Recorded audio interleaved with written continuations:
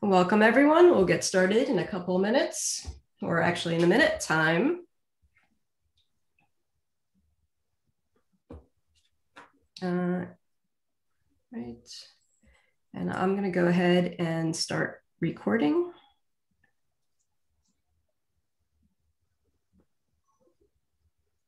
Okay, it's actually recording.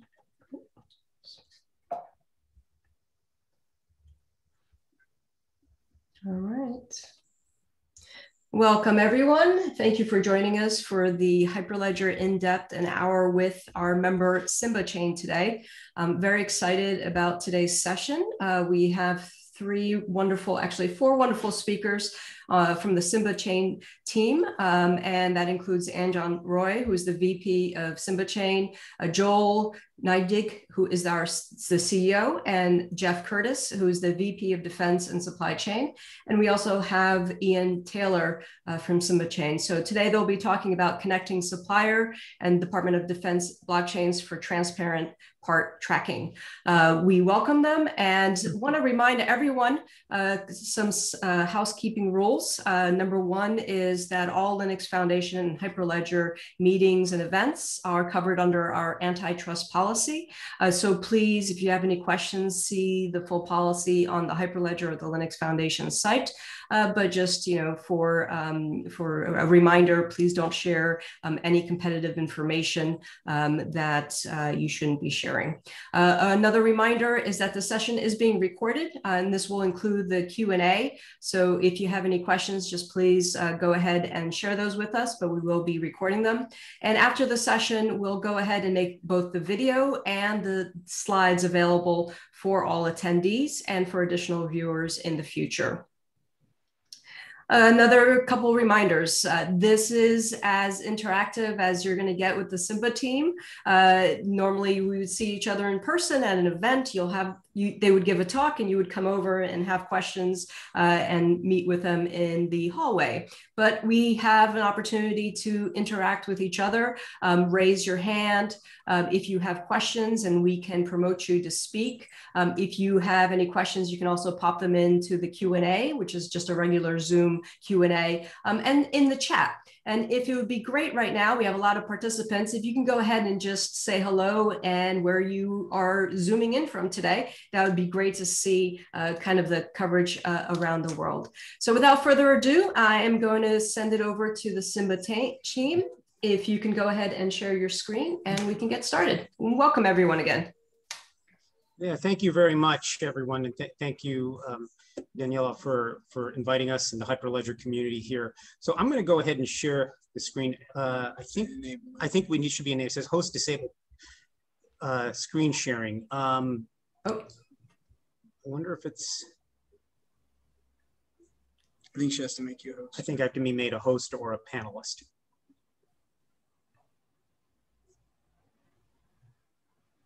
There it goes. There we go. Okay, fabulous. Well, thank you very much. And, uh, you know, we're going to get things started and, you know, uh, with this uh, this project we wanted to talk about, and, and also a, paper that was recently published. And we're lucky to have three of the, the, three of the four, or sorry, three of the authors and co-authors of that paper here with us. I'm actually not one of them, but all three of my esteemed colleagues here are, are, are authors of this paper. Dr. Ian Taylor, our CTO, Joel Neidig, our CEO, Jeff Curtis, our, our guru for all things supply chain and logistics. Uh, and so I mean, I'm going to pass things off, I think, to, to Joel. Would you like to intro this? And, and then, you know, we'll, we'll talk about, uh, we'll go through the slide deck. And if, if uh, Dr. Taylor, please feel free to chime in, talk a little bit more in depth about, you know, parts of that, parts of the paper and what we've done. But it really showcases, you know, this particular project uh, relating to uh, supply chain and visibility and traceability in real time. So with that, uh, let's let's do, uh, you know, the overall goal. But Joel, would you like to kind of start, start things off or or one of our other colleagues here? Yeah, yeah. I think every I'll have everybody introduce themselves. So my name is Joel Neidig. I'm the CEO of Simba Chain, co-founded with uh, Dr. Ian Taylor here, and uh, it's been very exciting. Uh, you know, Simba Chain started to uh, build out you know solutions for blockchain and make it really simplistic for different organizations and we found a great place in government that is needing authenticity and auditability and traceability and and so this project came about from the U.S. Navy, and currently funded by NAVAIR. And uh, it's been really exciting. It came out of a paper that uh, we've been working on with the University of Notre Dame, Boeing, and uh, Navy, and other partners like ITMCO.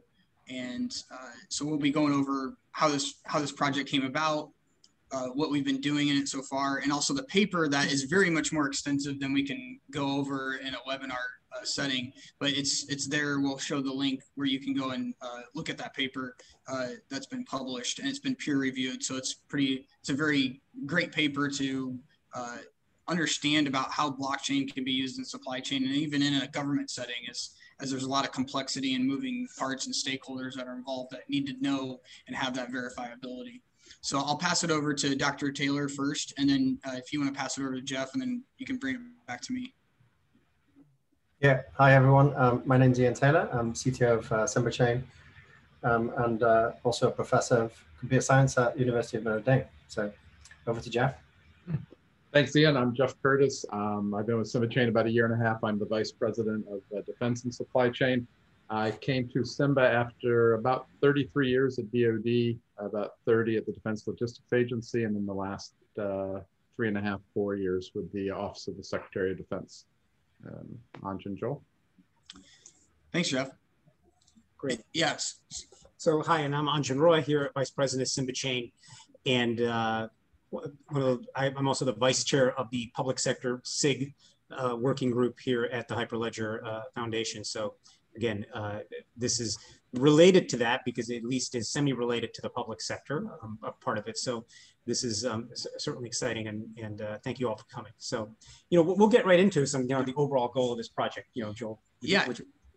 So the, the overall goal we wanted to track the parts that were coming from an OEM so that there's visibility into the DoD supply chain. We've all been through COVID. We understand the fragility of our supply chains. We have to we have to now come together and realize that there's vulnerabilities in our supply chains. And so was was really fantastic about this project is we actually started it before COVID. So we actually had been able to provide a lot of value uh, as COVID was happening to the Navy, and it was really exciting. So, um, you know, for example, OEM like a Boeing uh, would be able to, you know, be making a wing or a component uh, or tail hook or whatnot, and providing that internal insight um, and sharing the progress, both in the purchasing of that item, the whole logistics, um, the, ma- the maintenance, repair, and operations of those different items.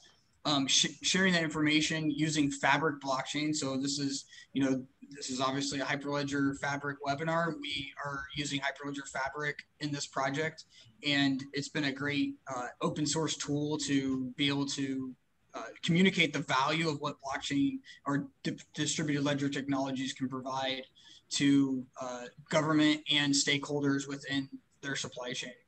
So then uh, NAVAIR then uh, would receive these updates to gain more view into the into the entire end process, so that they can make decisions and have a better collaborative way of communicating with the you know OEMs and, and very significant partners that are in the supply chain. So the uh, parts we're tracking are tailhooks and wings from the F-18 uh, aircraft. So you can go to the next slide.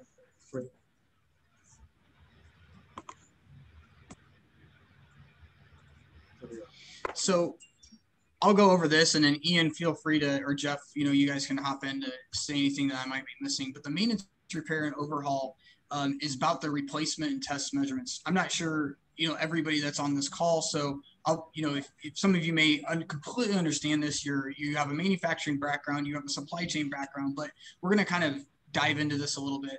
So the preventive maintenance are tasks that are scheduled regularly. So they, you know, it could be regarding in the, you know, updated design of a component that continues to fail. It could be in the equipment, you know, the functioning, how well is it functioning and, and providing that uh, so that it's ready. You know, readiness is a big thing. Sustainment is a big thing within the military, and we have to be ready to whatever you know may come come their way. So the corrective maintenance are tasks that are performed that failure occurs. So it's like fixing of an overhaul of equipment, the machinery, the components that may be involved, that assemblies that go into that. So it's very complex assemblies. So we're we're digging down into the bill of materials of these items and providing that uh, non-repeatability, the predictive maintenance. So now we're you know wondering, okay, how do we now analyze you know if something's gonna if the failure might might take place. How many flight hours does this have? You know, what what are those different uh, you know dials and and set points that we need to be aware of to make the warfighter successful in what they're doing. So the maintenance repair and operations, we really focus first on the tail hook, and now we're moving into wings. So uh, Ian or Jeff, anything to add to that? Now, I just wanted to weigh in a little bit. I appreciate that. Thanks, Joel. Um, the corrective maintenance um, becomes more and more of a challenge, especially as a lot of these assets are older than we ever anticipated they would get. So that just becomes an increasing challenge of things breaking that you didn't anticipate would break. Uh, there may not be a supplier base and so on. So I'm sure we'll talk more about that um, as we move forward, but that's just kind of a, um, a challenge that just keeps getting more and more um, challenging. Mm -hmm. So uh, over there. Okay. So there are different levels of the MRO process, and and this is all detailed in the in the white paper that we published, uh, like I said, in Elsevier uh, the blockchain journal. So, and I know there's a lot of discussion about blockchain, distributed ledger technology. For this, all intents and purposes, we're using these uh, for this for this session because we actually have connected with uh, block. We've done some uh, cross uh, communication between blockchains. So that's why we're using the blockchain and DLT interchangeably because we've done connectivity of both. So you'll see that later in the uh, the, the uh, diagrams of what we've been working on here. So there's an O level maintenance that occurs in the organizational level of the, you know, of the Navy. And, uh, you know, it could be a single maintenance squadron. Um, it's responsible for the parts. And the intermediary I level maintenance occurs when it is specialized. So now we're looking at kind of like um, the uh, you know, there might be some kind consuming diagnostics that are involved and some like back, you know, there might be a job shop that's kind of like you know, back in the back corner that, you know, they're working, they're specifically good at like welding or something specific like that. Or one's gr- great at bearing analysis and like, oh, this bearing's about to fail. Uh, this pin in this tail hook is, you know, things like that. So the other level is the the depot level. So this is where the maintenance occurs. Um, and this is a very highly specialized offsite repair. So they might even be into the fact that they actually have the diagnostic equipment that is specifically, and they may have a, um, as opposed to just a welder, they may have a materials engineer. So they might have a metallurgist or something like specific that is like, they are like really almost down to like how the original design was intended and things like that. So that's that's kind of where these so just defining these different levels so people understand like where this is taking place. And you can start seeing like, wow, this is where smart contracts and you know having non-reputability and there's a lot of things that go wrong and if we can't immediately like pull up a system and say i know by a shadow of doubt that this happened at this date and it's been timestamped basically notarized then you can kind of start seeing how communication can break down if we don't have this kind of real-time system capability to immediately validate and authentic authenticate um, and have that immutability so um, and you can even imagine in large organizations when uh, you know Boeing or Navy that nobody even knows. You, you probably are working on systems that you don't even know who the other person on the other end is, and this is obviously normal in, in a lot of different settings. But we have to have a, a, a moment of trust that, like, you know, somebody's getting in a plane that's you know going to fly i need to know that this the maintenance worker had signed off and that this is all checked and everything's great so having those capabilities and then even knowing that the even down the line to the manufacturing and the sub-tier supply chains that things have been uh, done properly. That's that's very important. So next slide. So Ian, do you want to talk any about the high level flow just briefly, and then maybe a little about the paper? Yeah, I just posted the paper actually in the in the chat, so everybody could has a link to okay. it. Great. Yeah, I mean, from the previous side, um, uh, this gets pretty complicated, but essentially this is how the high level flow of what how things work. Um, so um, we created um, a 28 page document that describes this end to end flow. Um, but roughly what happens is, you know, using those things from the last slide, um, at the O level, so at the, the carrier, aircraft carrier, they'll look at an um, F-18, they'll inspect the tail hook, for example. That'll be the O level. Um, if they can, you know, make a repair there, they will. If they don't, they'll take it to the I level. Um, the I level may have some, um, you know, equipment to be able to repair depending on what, what goes wrong.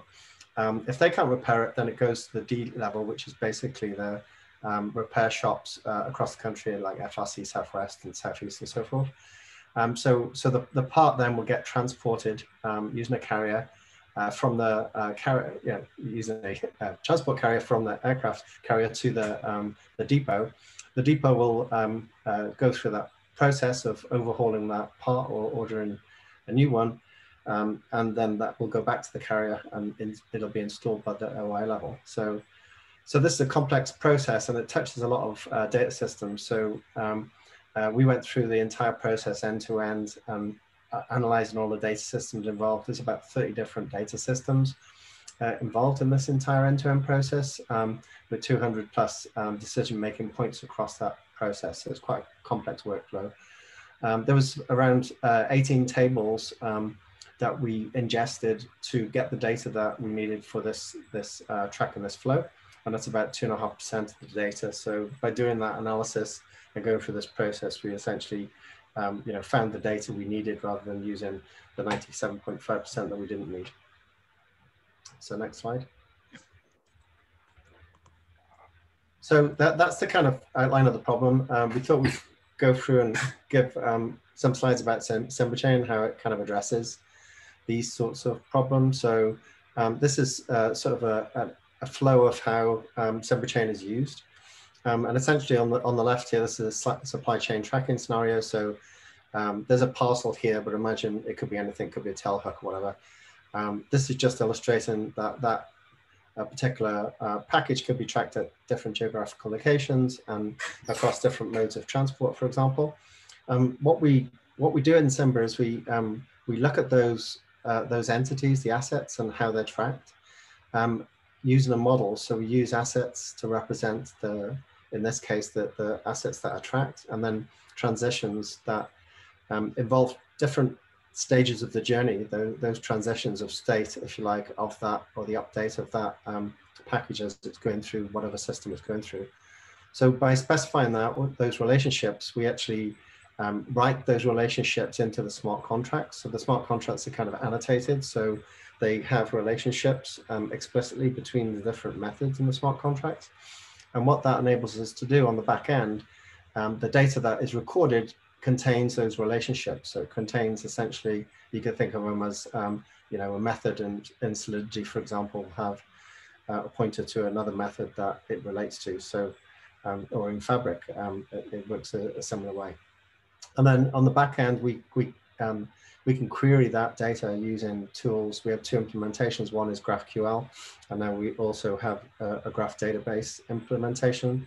And the way kind of that works is we can we can take in the graph database, we can uh, query it as a single system, but we can have off-chain data in the graph database, and we can also have on-chain data um, referenced within the database to the, the uh, underlying blockchain. And we can bring those together in one query. So from an application, they're querying a system, but some of that is tracked and some of it is not. Um, and in the DoD, we will put um, you know, flight critical components on that you know, as part of it, they'll be the ones tracked on the blockchain. The rest of the components that may be involved in the entire process, but but not uh, flight critical, maybe off chain, for example. So next slide. Um, so Simba Chain, um, aside from the, uh, the, the modeling we do um, and the input and the output, the, these are the various um, components in the system, just to give you an idea of the sort of um, the, the, I guess issues we address with with Simba Chain um, in the you know in the blockchain kind of life cycle. So I'll just go through this real quick. So at the center, there's different uh, there's blockchain. Uh, we support eight different blockchains. Hyperledger Fabric, we support that natively now. So we map from these smart contract, well, conceptual smart contract models directly to Fabric um, native. We, we also uh, support the EVM, the Burrow EVM um, implementation of Fabric as well. Um, uh, and then um, the model that um, defines these assets and trans transitions also can be used to, to tie different versions of smart contracts together. And also that it can be used to connect different uh, smart contracts on different blockchains by essentially kind of marrying parameters across through um, from one uh, smart contract method to another smart contract method on a different chain. And that enables us to search both blockchains simultaneously, and we'll touch on that a little bit later. Um, and then sort of uh, on the front end of this, we have transaction validation and resilience. So as transactions come in, we validate the, the actual uh, content as opposed to kind of the method signature. So if you try and, you know, put a massive integer into a, a uint, you know, that something that's more than 32 bits, for example, it'll it'll complain at that level rather than clogging up the blockchain. And then we also have asynchronous um, workers that uh, run for each uh, each transaction where we need to. So in other words, if a lot of transactions come in and the blockchain can't keep up, we'll we'll farm out these workers and, and they basically monitor the transactions until they get a receipt.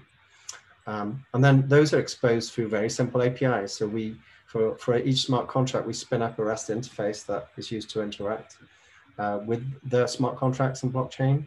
Um, so from a from an application standpoint, you just write into a REST API, a post will put data on chain and a, a query will uh, uh, search the, the data on chain scoped by that um, particular method or the smart contract.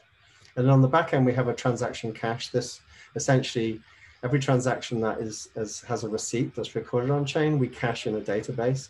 And then we have an application that runs all of the time, checking the consistency of that uh, cache. And then when querying, you can use that cache or you can go directly to chain, depending on um, you know which mode you want to use. But using the cache, it becomes super quick.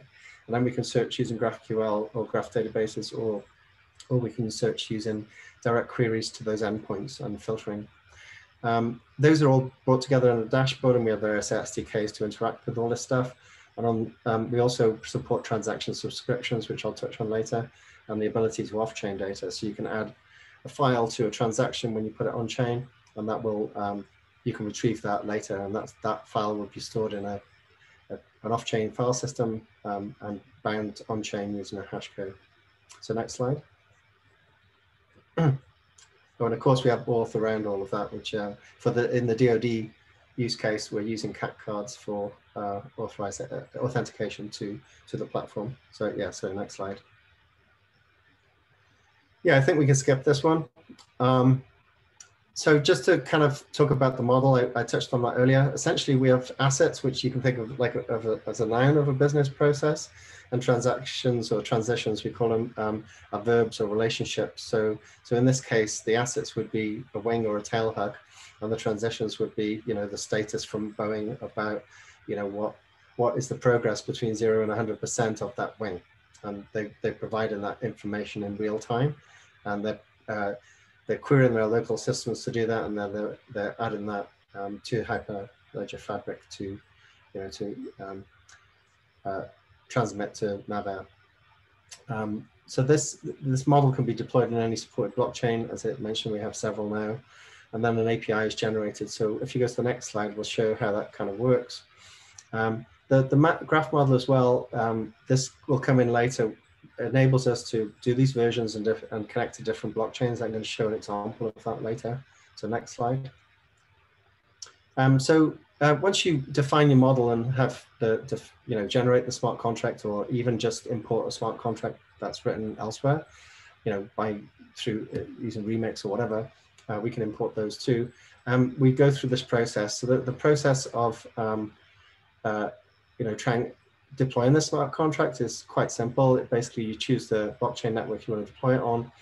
Um, uh, in this case, it's Ethereum and a private um, Ethereum network called Circle of Life. If you click um, the button, and John. Yeah, he's got a stack up. Yeah, Okay. Um, and then the next phase is, do you want off-chain data? And there's several sources there for uh, where you can store off-chain data if that is relevant to this particular application. Um, next. Then you choose the smart contract you want to deploy. In the Simba Enterprise, uh, Enterprise platform, um, you actually can select several smart contracts here. So per application is basically a container for multiple smart, smart contracts that each have uh, uh REST APIs. So, so this is just choose, uh, choosing a container demo here. And then next slide.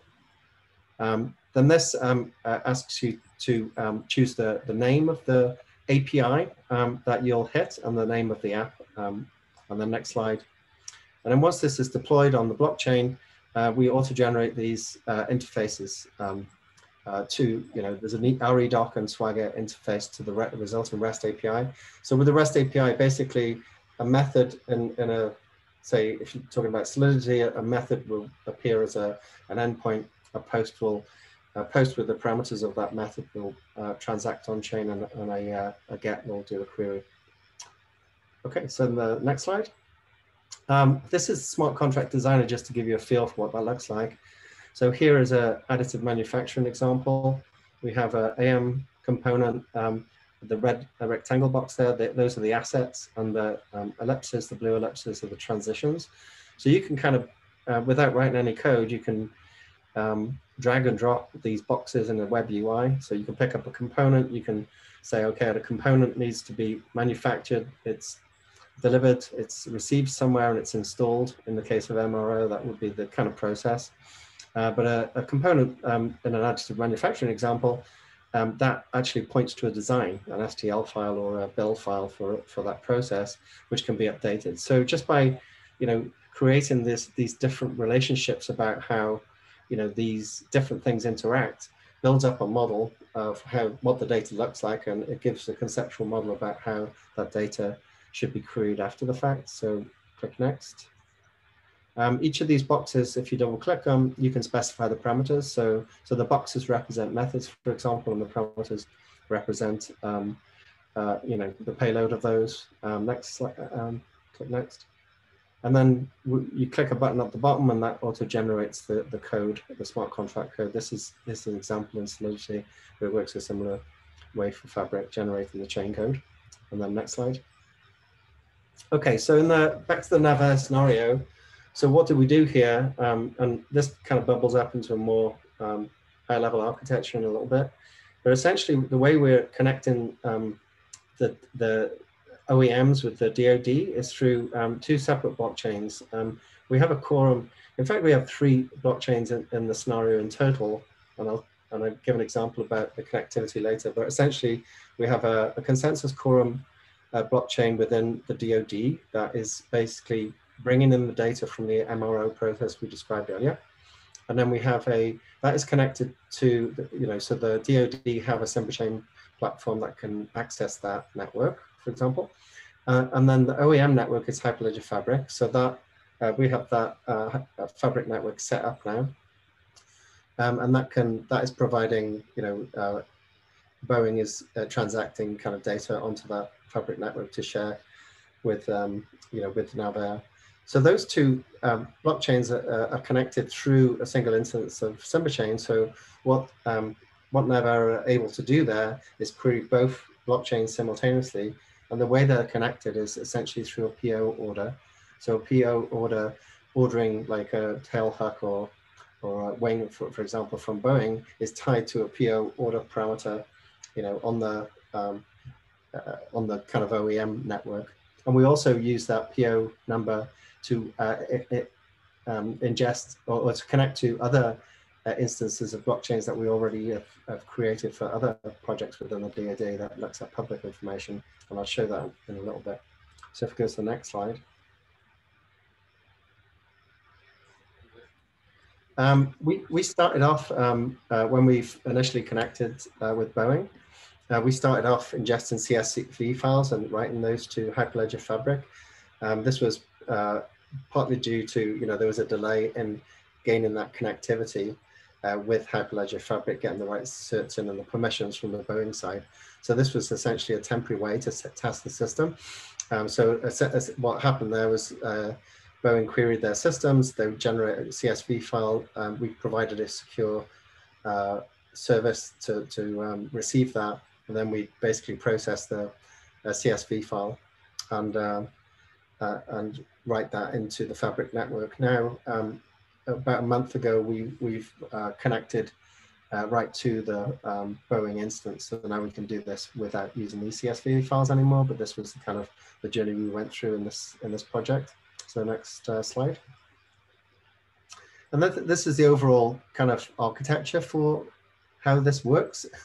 so um, essentially, um, on the left side here, um, uh, we have the, the data from the OEMs. So the, the way that works is they have a, um, a data collector component that queries their ERP systems uh, for the information, which basically is extracting the status of a particular, um, you know, particular part. For example, a wing can take months to make for um, progress, but there's progress within that time frame. So from NAVAIR's perspective, they, they place an order and they wait until that order is filled and, and they can use, you know, historical data to understand roughly when that happens. But then when other orders come in within Boeing, for example, um, which are super urgent, that might delay schedules. And so this, this information changes.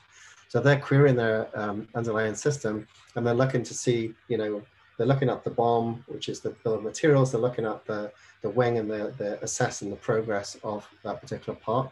And they're collecting that information and then they're using our SDK then to connect to Fabric. So, so our SDK, we have SDKs in uh, Python and Java and in, in, Node and, and in .NET.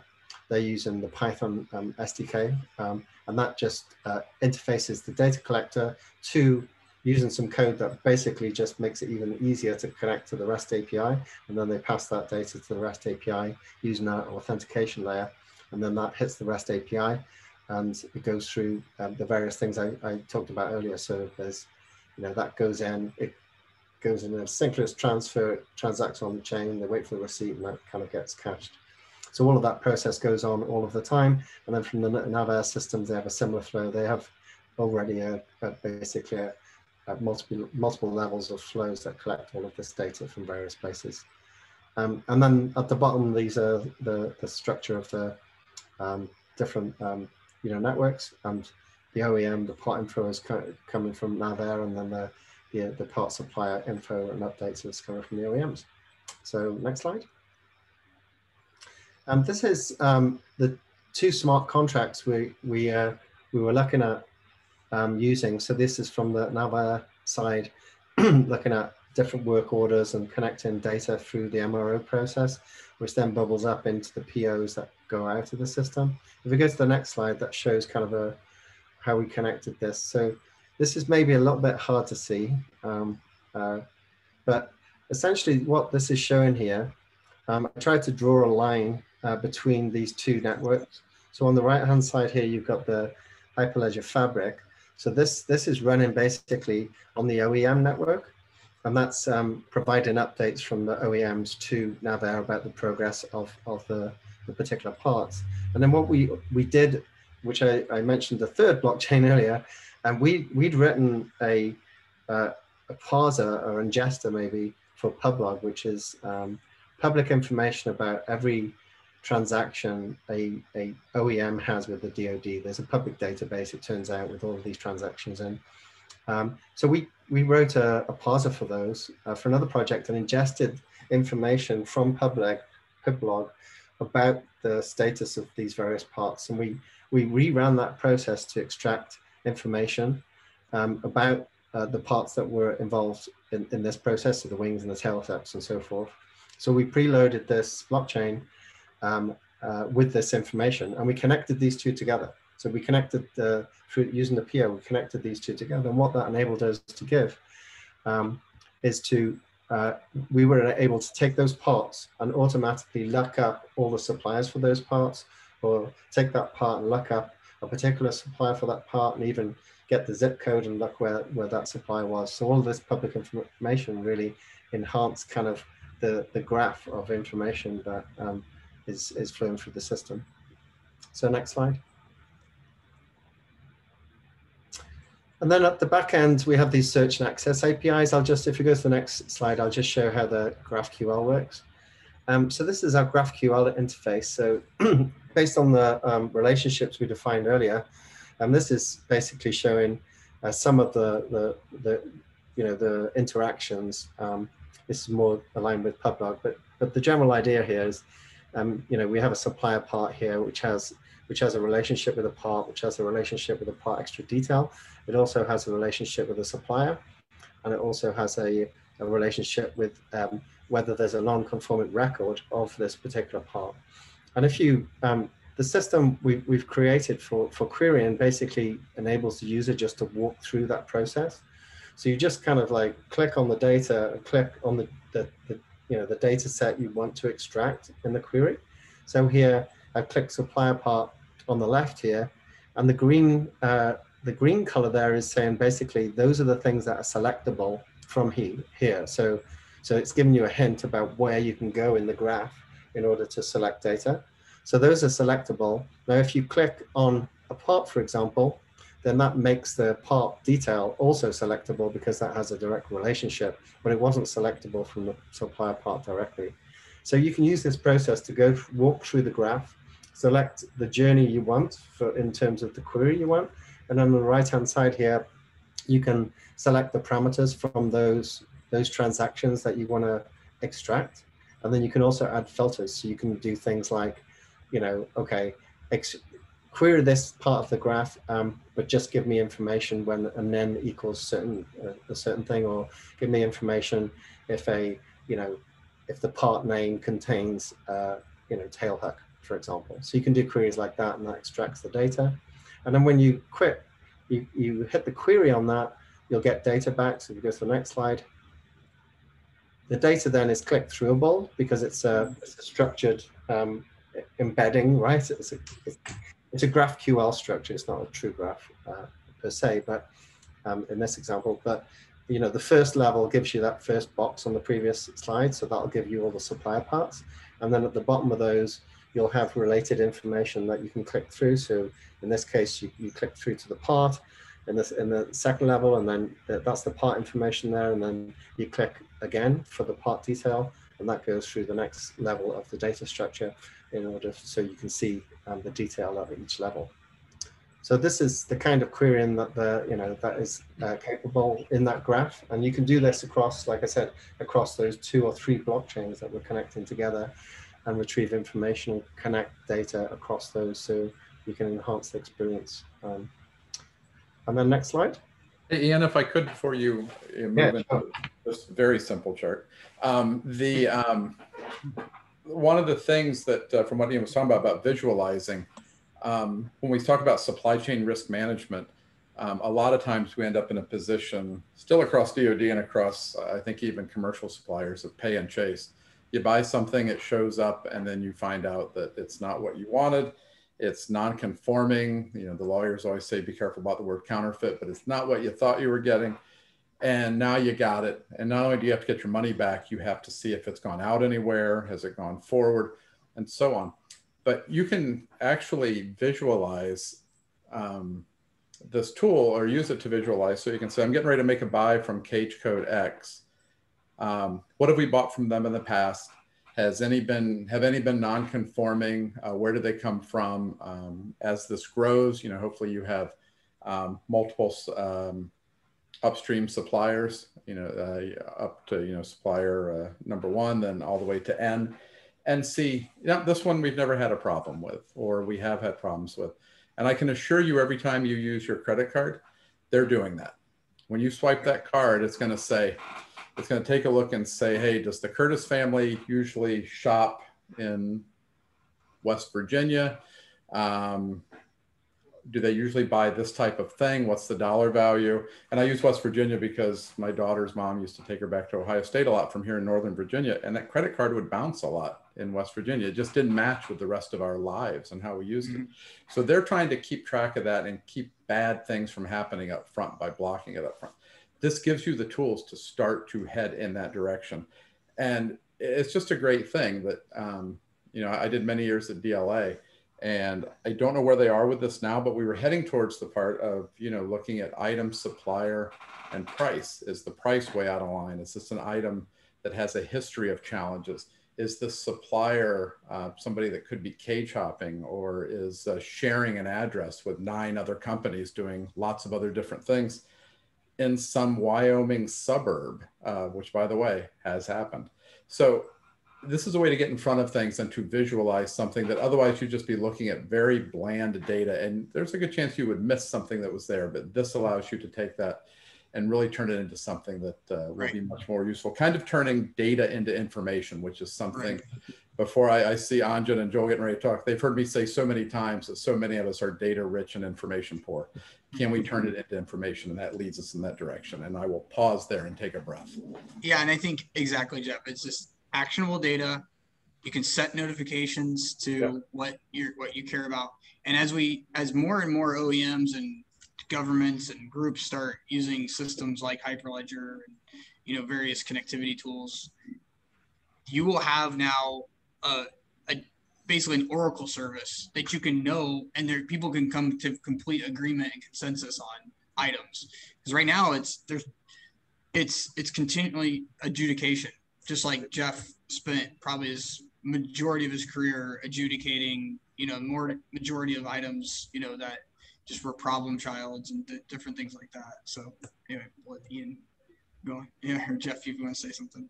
No, I was just saying you mentioned uh, the adjudication. Um, by the time I ended my career and I was in a pretty senior position, by the my lives were just kind of hell, or my days were kind of hellish because by the time anything came to me, nobody had solved it and they had tried. So I only got things. Yeah. And you, as CEO of the company, I'm sure are going are going through the same thing. By the time they get to you or to me or to whomever, um, other folks have tried, they failed, and there's nothing easy about what's left. Yeah. You're going to have to make decisions and fight the battles on this. So, yeah, but if this allows folks to identify things a lot earlier, um, that, that's just a wonderful thing. Mm-hmm. Yeah. We'll try next slide here. Okay. Yeah, I think, um, well, if you go to the previous slide, um, this is just uh, an example of a graph using the same data. So this is our graph. We're actually using Neo4j uh, from a technical standpoint, but this enables us to um, uh, essentially create a graph of the data, which can, in the case of supply chain, um, you know, a graph enables you to represent a supplier, and then have a supplier point to another supplier, have a, you know, a relationship with another supplier and so forth to do multiple levels of supply chain. So uh, whereas GraphQL is very hard to do that. Um, and this this enables us to put this data in this format and connect on and off chain data kind of seamlessly to, to one query essentially. This isn't something we present to customers, but um, we can run a query from a UI to get a very complex set of data across you know this graph and populate it in a simplified user interface. And we're, you know, we're using um, kind of simple user interfaces essentially at, the, at that side of things. And then uh, the next slide, just as kind of really the last thing to touch on is is the subscription. So um, one of the um, one of the parts of the uh, tool, the SimbaChain Enterprise platform that I touched on earlier, was the ability to do subscriptions. These can also support logic, so you can, you know, you can filter, add filters that can be chained together. So you can do things like, you know, notify me if the identify, you know, the ID of a component is 8756 in this example, and the name is Ian for or, or whatever. You can do that and, and add, you know, quite complex kind of logic statements that, um, uh, that where, where the conditions have to be met in order for the notification to trigger. Um, but you can add these on a on a basically a blockchain method level, um, and then filter on the on the um, parameters of that method, and then you can connect this to um, through SMS or, or uh, send emails or web notification targets, so you can connect it to other systems to trigger other processes. Uh, next slide, um, which I think is the final slide, and this is the interface to that. So you know, it's a very similar idea. Um, you choose basically what you want to um, what you want to filter on. Uh, you choose the conditions about how that happens, and then you click subscribe, and then that you just get notifications as data that meet, meets that um, those conditions uh, come into the network. That's it. Great. Great. So, any questions or thoughts, comments? Not surprisingly, I, I had another comment. Um, you know, every time when Ian was walking through this, there were so many pieces of information flowing in so many directions and so many literal physical parts um, moving around. Every one of those tends to be a chance for a hiccup and for things to become unmatched. Um, but with blockchain hyperledger, you're talking immutability.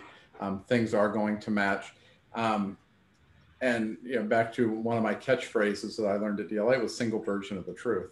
Um, I'm presuming we have some folks on here from DoD. You know, we all live the dream and continue to do so of uh, reaching financial auditability.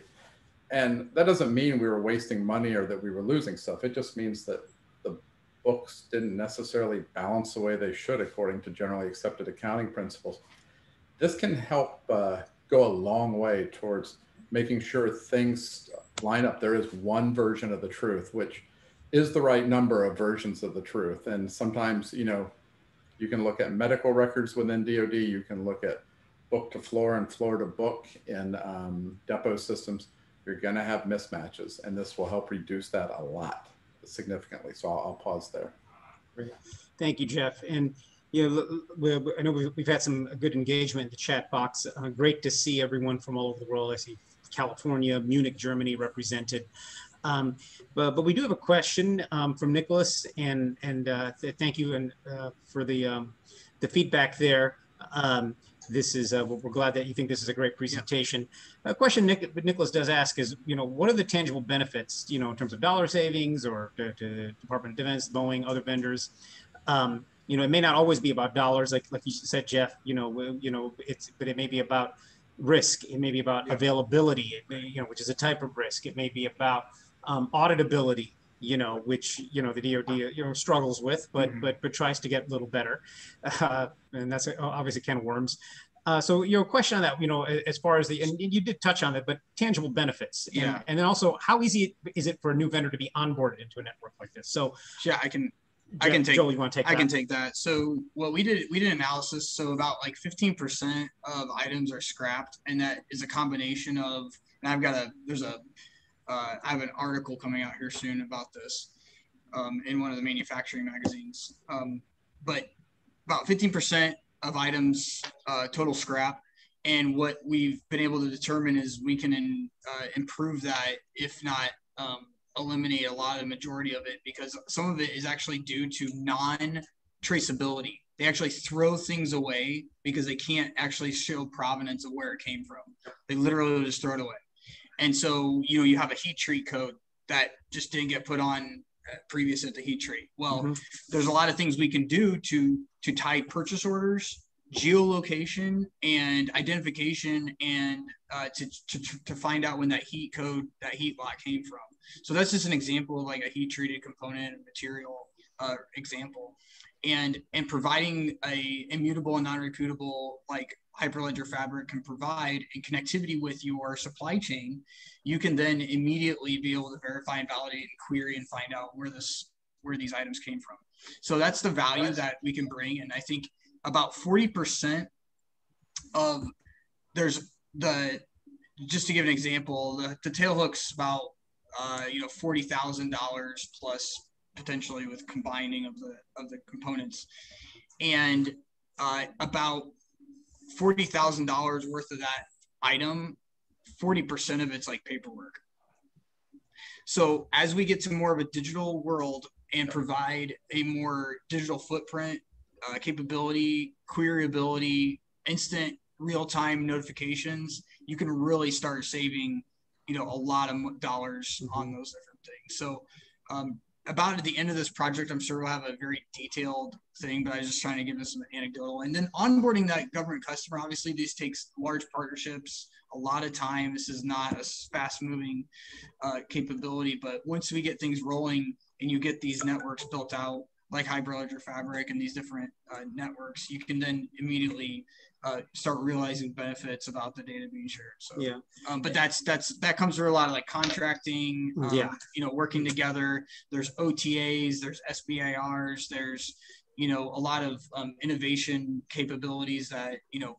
Uh, uh, you know vendors can go after to to get these projects rolling yeah if, if i was to comment like what you just said joel a lot of that time to onboard new vendors is largely contractual or otherwise human. It's offline yeah. stuff. It's not, if, if, if, if, if, the question was more about the technology, the onboarding of new vendors or new network participants is uh, it's a very different conversation. If, if, all the, if all the contracts and the bureaucracy and the human decisions are, um, are, are, are, abstracted away, mm-hmm. which of course is not reality. But if they were, the actual, you know, the the the, the actual technical plumbing is pretty fast. Right. You know, yeah, the, and, the DoD's yeah. fast moving towards a zero trust infrastructure so that we can not you know, these centralized certs and different things like that are causing very much problems, especially. Um, so to get to more of a zero trust capability, open source, where it's very transparent, Hyperledger Fabric, Linux Foundation, mm-hmm. you know, uh, or and all the other, diff- you know, Hyperledger Sawtooth, we support that too, and Hyperledger Burrow, as Ian also described. So, um, just different capabilities and and kind of bringing partners together. But yes, definitely the onboarding uh, can be fast. We are work. We have a continuous authority to operate that'll be going into platform one, which is Air Force's platform. So there's there's different things, especially if you're going into RDT network. That's lot more complex. So it's a little bit long time for the risk management framework and ATOs that have to get processed. So to try and move towards more a cloud infrastructure is obviously a lot faster onboarding. So I think we have another question. Okay. Do we have, uh, it was a, a question. Do we have another question? Um, this, this is a question. If you'd like to ask questions, either raise your hand and uh, Danielle me, will promote you. Yeah. So just a reminder to everyone, if you want to ask questions, please go ahead. You can put it in the chat, you can put it in the Q&A, or just raise your hand and uh, I'll go ahead and promote you to uh, permit talking. Um, mm-hmm. So uh, it'd be yeah. great to have an opportunity to ask some questions. Um, I do have a question, and this is something that we've been getting very often, uh, specific to Consensys Quorum. Um, so there's two flavors uh, of quorum that consensus provides. One is quorum pro uh, go, and one is uh, Hyperledger Besu based. Uh, which version does Simba support? So we're supporting the Go version, I believe. Ian, is that correct? Yeah, correct. Yeah, and then the Besu is Java based, I believe. I think. Yes. Uh, yeah. So they and Consensys. Obviously, we were very close to Consensys. Uh, so we use we're a great partner of ours because we use their technology, and they are no, they're they're moving. I know they're moving. The idea is to continue to merge those kind of more and more together mm-hmm. to kind of build this capability where Besu and uh, the Go Consensys Quorum can continue to come together. So, but I think there's a obviously that's on their roadmap from what, from what we've heard. So, but, but great value to the Hyperledger community for that to have that kind of integration. Great, thank you. Yeah. There's a, another question in the chat. Is the DoD mandating that its vendors use this blockchain network? So the DoD um, is continuing to research. Obviously, they're not the fastest uh, adapt adopters of the technology, but they continue to provide, you know, build out specific solutions is what they're looking for. And I think eventually there'll be um, mandates for different blockchain networks. Like I'm, I'm, what we envision is that Department of Defense within Navy, Air Force, uh, Marines, just like they're a lot of them have multiple different cloud, multi-cloud. There's going to be multi-blockchain. So multi-cloud, you know, there's not just like we've seen with Jedi. There's not going to be like, okay, one group's going to have, even in an open source world, is going to have one capability. So there's going to be multi-cloud capabilities. We have to have lots of collaboration, um, and we know that uh, we think the Department of Commerce will have something, Department of Energy will have something, Treasury. We're mm-hmm. seeing this with central bank digital currencies. Mm-hmm. So all these different things, and I think there will be mandates coming out. And, um, you know, SimbaChain is agnostic. We are an agnostic uh, platform. We just connect to different, we're an API layer. So we just utilize, we're not at the protocol level. We let, you know, Hyperledger Fabric figure out the, the protocol items and we just connect and help, you know, uh, build applications. So that's our, that's our mission to make it yeah. easy. Yeah, and I, I, think it's safe to say that you know, yeah, they're not they're not going to mandate on one particular vendor or standard. There's all sorts of reasons to, many good reasons to not do that. Um, you know, and, and, Jeff can probably speak to this. But what we can probably assume is that, you know, certainly interoperability, and that's and that yeah. could mean a hundred different things. There's so many gradations of interoperability, but to the extent that there is some type of uh, you know, because then it, it goes to the, the, the spirit of kind of open solutions versus kind of walled gardens and closed solutions. So, to the extent that there can be interoperability to, to, to some greater degree, uh, one would think that that would be seen more favorably by this particular institution, you know, right. or any government institution. I, I do have to say there will be like STIG requirements, you know, these uh, yeah. security requirements that have to be stood up, uh, containerized requirements and a lot of that is the continuous authority to operate, authority to operate, risk management framework. All that has to be done. We are we are working very hard to pr- be able to publish what we've done. We don't have all that information allowed to be shared, but we hope to publish that to the community so everybody can now go, yeah. oh, this is how I do a STIG Hyperledger Fabric implementation, or you mm-hmm. know, whatnot. So that's that's our goal is like keep continue to give back to the community. We've done some updates on uh, showing users how to do Hyperledger uh, EVM 2.1 uh, installations and helping like writing scripts and making that a lot more manageable different things like that. So we we continue to provide that open source. You know, we as much as we can yeah. as a as a private company yeah. to to commit back to the community. Yeah. But this paper itself, please do take a look at it. The team put a tremendous amount of work into this, and uh, months and probably six months of work with, like with a lot of people. And yeah. yeah. and some of the hardest was the approval. And Ian can speak to that. Uh, well, if he if he wants to, it's a, he he had to do a lot of that approving and, and re-editing. Uh, so we're we're certainly on the gas pedal trying to get as much of this out as possible. So please do check out that paper because that was that went through a lot of approvals to get it, mm-hmm. uh, to, and and we're trying to you know shed a light and make as much of this public as we can for, for yeah, the community. Yeah, so. and say what we can because it we can't do it all. We need the whole entire community to implement the blockchain technology throughout the governments because we believe that transparency and equality will bring about, you know, great innovation. Yeah. And that's our, that's, you know, one of our main mission is to, democ- you know, just make this a very uh, mass adoption kind of yeah. play. Mm-hmm. So, yeah. Uh, Danielle, Alfonso has a question. So. Yeah. Alfonso, you can go ahead and unmute and ask your question. Hi, Hello, Alfonso. Alfonso, if you want to unmute, you can ask your question. Hmm? Maybe not. Maybe type uh, it. Yeah. Uh, I don't have, I don't have one. All right, so he just raised his hand. Um, excellent. Well, if anybody else has questions, we're at the top of the hour, close to the top of the hour. If anybody has uh, questions for the Simba Chain team, can you let them know how uh, they would go about getting in touch with you?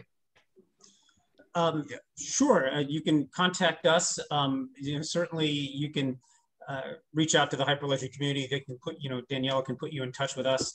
Um, my, my email is, and I'll put it on here. It's anjanroy at gmail. Dot, uh, sorry, at simbachain.com. You can get me at Gmail as well, but uh, simbachain.com. And uh, I'm, I'm one of the Hyperledger liaisons here at, at Chain. So you're welcome to reach out to me and I can put you in touch with the right person at Simbachain uh, that, that, that, uh, that you can be speaking with.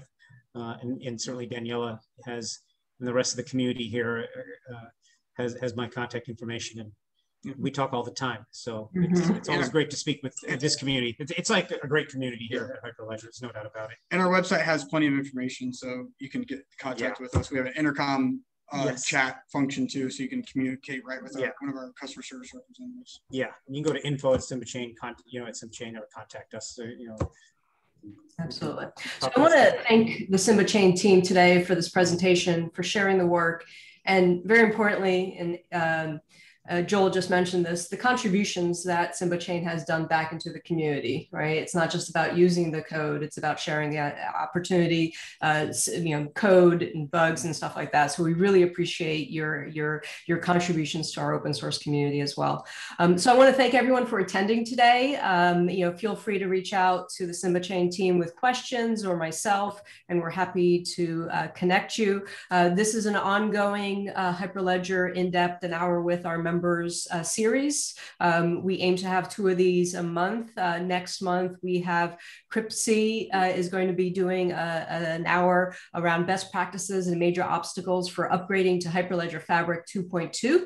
Um, and then the following uh, webinar will be on August 18th with Provinci talking about verifiable credentials and how to bring students and employees back to school uh, in respecting their privacy in the COVID area, era, which is obviously something that is top of mind for everyone uh, nowadays. Uh, so once again, um, make sure that you check out the Global Forum. We do have some great content from our July Global uh, Public Conference uh, with um, lots of supply chain use cases as well as others uh, to take a look at, public sector, et cetera. So please do uh, look at those sessions that are available online. Um, and as always, please get involved. There's lots of ways to get involved within our Hyperledger community, the special interest groups, um, the working groups, the technical projects themselves. Um, the meetup communities is strong, and we are starting to see some meetup communities getting together in person. So hopefully, we'll be seeing you all in person uh, as well at events and meetups around the globe. Uh, so once again, thank you for watching. Um, this will be posted on uh, YouTube uh, as well as on our website and we'll provide uh, additional details for everyone via email. So thanks again and have a wonderful day. Thanks, everyone. Thanks, everybody. Thanks a lot. Bye-bye.